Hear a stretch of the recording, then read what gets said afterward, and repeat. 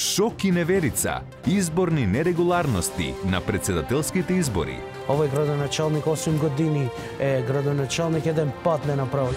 Откриваме како веганските браќа го прославуваат Великден. Не ме остава јајца да вапцам за Великден.